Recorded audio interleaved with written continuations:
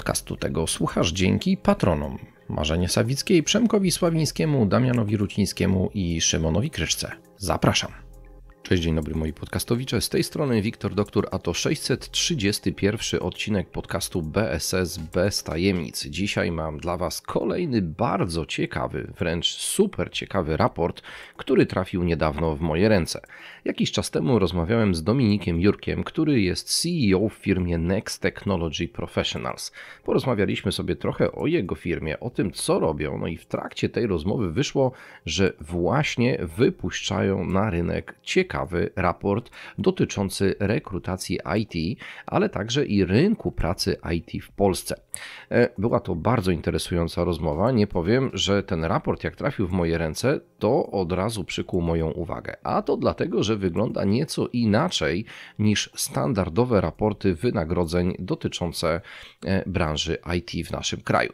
Mamy tutaj nie dość, że zestawienie wynagrodzeń, to mamy też opisane trendy, ale poza tymi trendami mamy jeszcze masę ciekawostek powyciąganych, z różnego typu ofert pracy, które pojawiały się w roku 2021. Warto tutaj powiedzieć, że mamy na rynku też takie coś, co się nazywa itradar.io, to jest wręcz domena internetowa, pod którą to całe narzędzie się znajduje, a jest to nic innego jak taki agregator ogłoszeń z czterech najpopularniejszych portali: pracuj.pl, NoFlap, Jobs, Bulldog Job oraz Just Join IT. No i wyobraźcie sobie, że poprzez ten IT Radar IO zostało zebranych 112 tysięcy ofert pracy z roku 2021. One zostały przeanalizowane.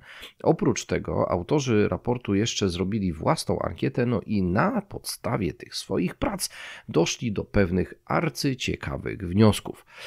E, przeszedłem przez ten raport, nie ukrywam, kilkukrotnie, bo wręcz za każdym razem, kiedy w niego wchodziłem, to znajdywałem coś ciekawego. Także, słuchajcie, moi drodzy, Next Technology Professionals wypuściło coś bardzo, bardzo ciekawego.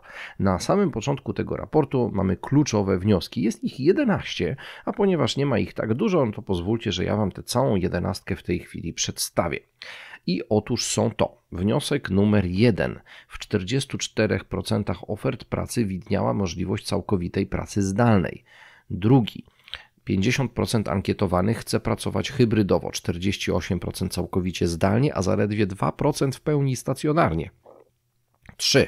Najwięcej ofert pracy w 2021 roku było skierowanych do midów, czyli osób z 2-4-letnim doświadczeniem. Wniosek czwarty. Niezależnie od typu umowy, senior oraz ekspert otrzymuje wyższe wynagrodzenie niż to przedstawiane w ogłoszeniach. Kolejny wniosek. Na największe zarobki według danych zebranych z ogłoszeń mogą liczyć osoby, które pracują z Google Cloud Platform, Kubernetes oraz mikroserwisy. Następnie w ofertach pracy najczęściej pojawiały się takie języki programowania jak Java, JavaScript oraz Python. Kolejny wniosek: najwyższego wzrostu wynagrodzenia przy zmianie pracy oczekują eksperci, osoby mające powyżej 10 lat doświadczenia 28% przy modelu B2B i 27% przy umowie o pracę.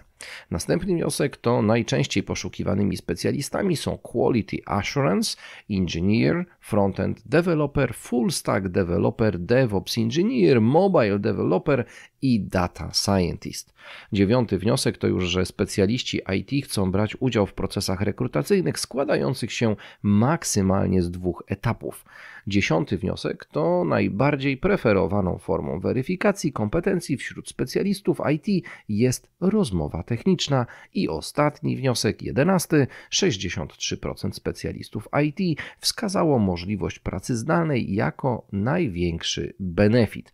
Oczywiście do tych wniosków możecie sami też dojść analizując raport, który ma 65 stron, gdyż to są takie no, jakby wyniki tego wszystkiego, co tutaj można znaleźć.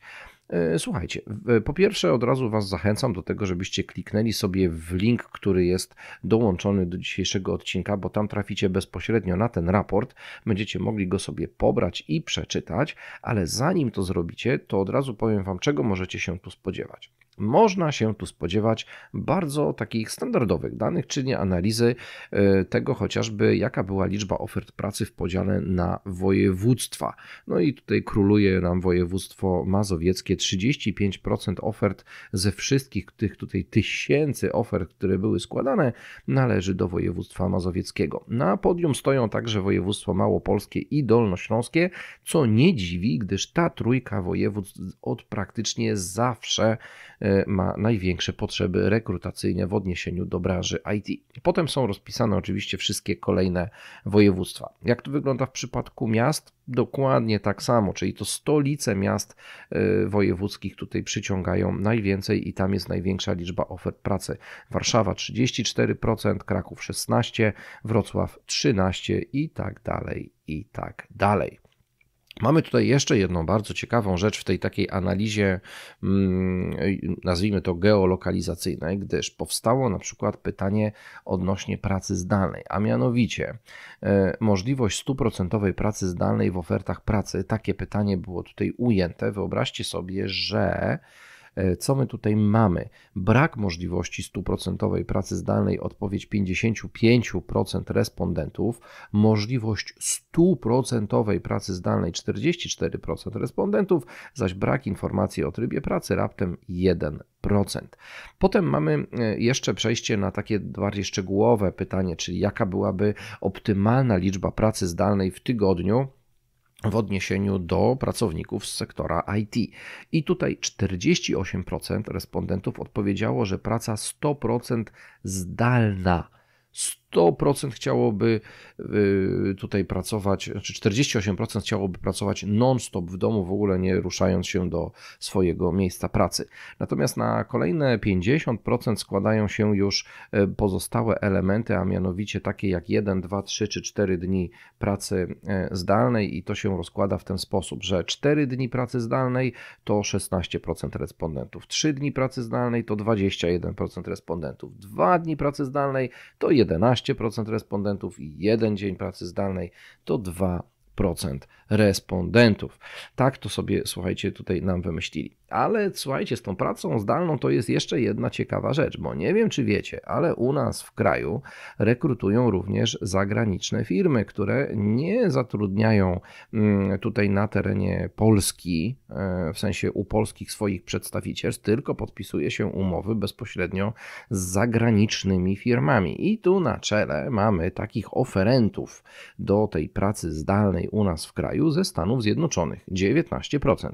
Na drugim miejscu są Niemcy. Niemcy 15%, a na trzecim Węgry 13%. Trochę mnie to zdziwiło. Zawsze myślałem, że to jednak zachód Europy albo Skandynawia będzie miała tutaj miejsce na podium, a tu proszę bardzo, Węgry wskoczyły na trzecie miejsce.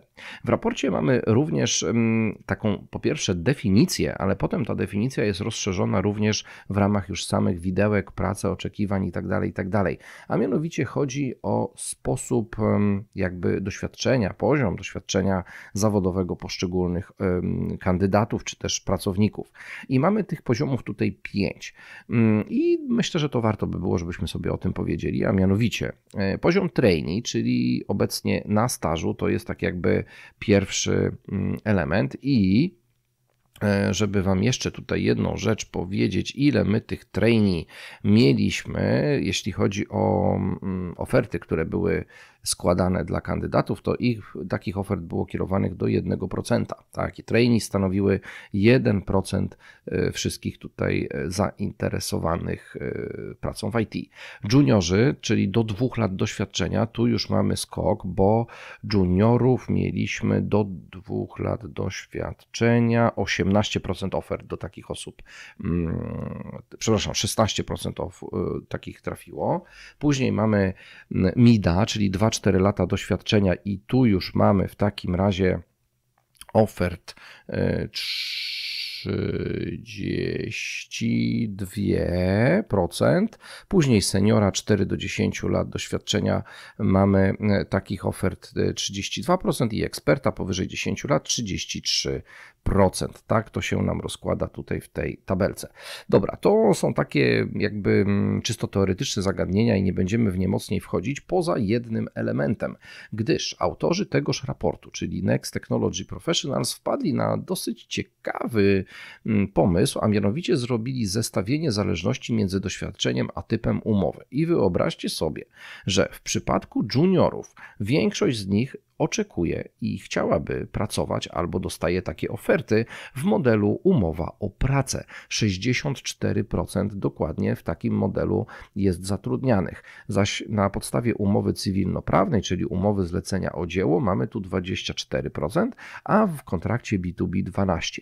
Już na kolejnym poziomie, czyli poziomie MIDA, mamy dramatyczną zmianę, gdyż w umowie o pracę mamy nadal 63%, to raptem 1% różnicy, ale na drugie miejsce wskakuje nam B2B. 31% respondentów tego typu e, umowę chciałoby mieć, zaś 6% pozostaje na umowie cywilnoprawnej. W przypadku seniorów mamy tu już przewagę B2B 55%, a potem na drugim miejscu jest umowa o pracę 44% i 1% zostaje na umowę cywilnoprawną. W przypadku ekspertów bardzo podobnie do seniorów. 54% to B2B, 45% to umowa o pracę, a 1% umowa cywilnoprawna. Dobra, no to dlaczego osoby w IT zmieniają pracę? Co nimi kieruje? Tutaj autorzy raportu wyciągnęli pięć najważniejszych powodów ostatniej zmiany pracy i powiem Wam wszystkie pięć. Na pierwszym miejscu z odsetkiem 43% odpowiedzi nieadekwatne wynagrodzenie. Na drugim miejscu brak możliwości rozwoju i tu już 36% odpowiadających. Niesatysfakcjonujące projekty to 26%. Zobaczcie, jedna czwarta branży IT, tych pracowników, którzy zmieniają swoje miejsce pracy, uważa, że ma niesatysfakcjonujące projekty. No, daje to do myślenia. E, kolejne 23%, czyli pozycja numer 4, to już po prostu chęć zmiany. Ktoś się znudził i chce zmieniać, ale aż 15% podało tutaj informację, że zmienia pracę z uwagi na przełożonego Uuu, no to kiepściutko z tym elementem zarządzania w takim razie, skoro aż 15% respondentów i to jest piąta odpowiedź powodów dokonywania zmiany pracy zawitała do takiego e, raportu.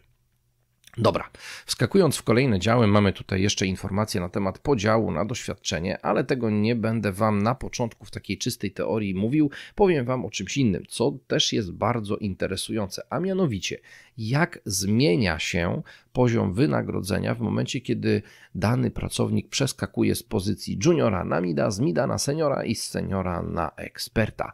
A są to zasadnicze różnice, gdyż junior awansując na mida wskakuje o 122%, jeśli chodzi o swoje wynagrodzenie wyżej. Jeśli chodzi o z mida na seniora, to już jest to 48%, z seniora na eksperta 19%. No i to wszystko dotyczy kontraktu B2B. Tu mamy podobną relację jeszcze w obszarze umowy o pracę. Warto, warto zajrzeć na stronę 19 raportu, żebyście zobaczyli, jak to wszystko się przedstawia. No ale e, idźmy teraz po troszeczkę mięsa. Słuchajcie, podział na typ umowy, no i kwestia wynagrodzenia polskich specjalistów. Jak wygląda średnie oferowane, e, wyglądają średnie zaoferowane warunki w zależności od typu umowy. W kontrakcie B2B Minimalne, średnie oferowane zarobki w, zależ... E, w roku 2021, jak to wynika z IT Radar IO, minimalne, przypomnę jeszcze raz, to było 13 759 zł, zaś maksymalne 19 152. W przypadku umowy o pracę mamy tu nieco niżej, gdyż 10 769 to minimum, a 15 584 to maksimum. Podobne relacje mamy tu jeszcze rozpisane w szczegółach dotyczące umowy zlecenia czy też umowy o dzieło. Tego nie będę Wam mówił, zostawiam Wam to Wam e, do przeczytania samodzielnego, a ja w takim razie wchodzę po mięsko. A to mięsko to jest podział na technologie, czyli jakie jest średnie oferowane wynagrodzenie w zależności od umiejętności i jedziemy. Java. 12 044 to minimalne, 17 857 to maksymalne. Na drugim miejscu JavaScript 10 345 minimum, 15 902 maksimum oraz TypeScript na trzecim miejscu tutaj mamy zamieszczony 11 992 minimum oraz 18 072 maksimum w tej tabelce, w tych wykresach i w tych suwakach minimum, maksimum macie również podane wynagrodzenia w obszarze PHP, Pythona, e, .NETu e, i w szeregu, szeregu innych. Warto sobie przez to wszystko przeskoczyć. Powiem Wam, że te wynagrodzenia no, w niektórych miejscach dają ostro do myślenia. Wyciągnę Wam jakieś takie jeszcze ze dwie perełki. Na przykład AWS. Zobaczmy, co tam w Amazonie się dzieje. Mm, minimum 13 675, maksimum 20 151. No i może jeszcze coś tam ciekawego. No na przykład mamy, co my tu mamy, co my tu mamy ciekawego. No słuchajcie, microservices na przykład 15 159 minimum, 21 923 maksimum. Znajdziecie tu wszystkie inne Dockery, Linuxy, Big Data, Windowsa, SAPa, Oracla, co tam sobie wymyślicie. Bardzo fajnie, rzetelnie przedstawione to na ciekawych wykresach i daje nam to wszystko ładnie mm, na tacy podane. I popatrzmy sobie w takim razie, jak wyglądała liczba ofert w podziale na technologię. E, cały czas przypominam, że źródłem danych jest e, itradar.io za rok 2021. Podium, pierwsze trzy miejsca. Java 20% ofert, JavaScript również 20% ofert, oraz Python 18% ofert. Potem mamy wymienione jeszcze Linux, Docker, AWS, Azure, PHP, React, CSS i tak dalej, i tak dalej, ale to już wszystko schodzi nam w dół, więc e, tych ofert było składanych e, coraz mniej, coraz mniej. Zobaczmy, co jeszcze mamy w tym raporcie. Dobra, bardzo fajna rzecz, a mianowicie top 5 technologii, a średnio otrzymywane wynagrodzenie. I mamy top yy, technologia pierwsza JavaScript, podział na stanowiska junior, mid, senior i expert. I dalej podział na kontrakty B2B oraz umowa o pracę. Wow, no to y, słuchajcie, wyciągnę Wam tylko na podstawie tego jednego stanowiska, żebyście wiedzieli, jak to wygląda, a możecie sobie potem wskoczyć i wyciągnąć szczegóły dotyczące chociażby takich mm, obszarów pracy jak Java, TypeScript, Python, PHP i tak dalej, i tak dalej. Ale jak to wygląda w JavaScriptie? Junior w kontrakcie B2B może liczyć na 6300 zł. Na poziomie mid 15 780 zł. Senior to już 22 619 zł, a w przypadku eksperta 28,5 tysiąca złotych. Wow, no więc widzicie te skoki procentowe, o których Wam wcześniej powiedziałem, że tam z każdym poziomem to ładnych kilkadziesiąt, a czasami i kilkaset procent skacze w górę jest tutaj pokazane wręcz na poszczególnych kwotach. Teraz e, dodatkowy jeszcze, e, dodatkowa jeszcze rzecz w wielu miejscach tego raportu możecie spotkać na, e, napotkać komentarze ekspertów. I na przykład w przypadku e, tego podziału na technologię oraz e, w jaki sposób wyglądają wynagrodzenia, komentarza swojego udziela Marcin Tchórzewski, czyli założyciel i CEO Coders Lab. E, pozdrowienia dla Marcina.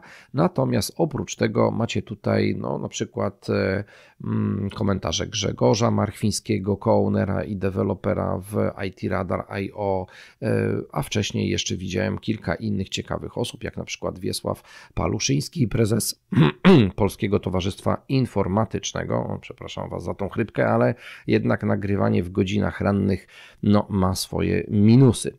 Y, przejdźmy sobie do jeszcze jednej sekcji. Ja jestem mniej więcej w połowie tego raportu, ale zaraz będę stawiał kropkę, bo oczywiście nie będę Wam przechodził przez cały ten raport.